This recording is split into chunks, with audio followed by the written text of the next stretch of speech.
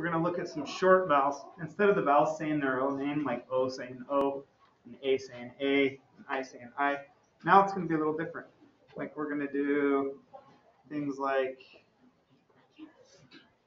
whoops. What's this sound here? What's this sound?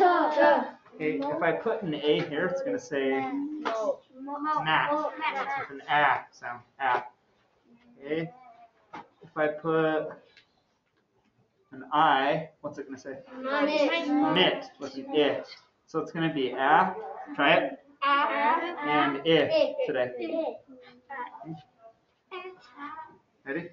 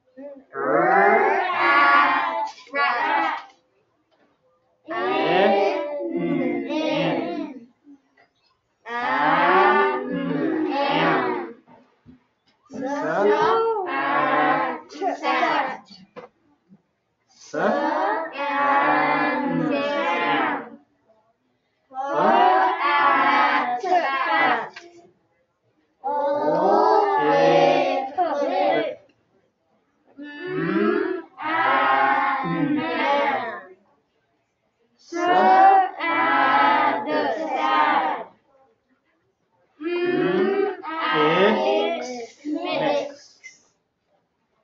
mix. mix.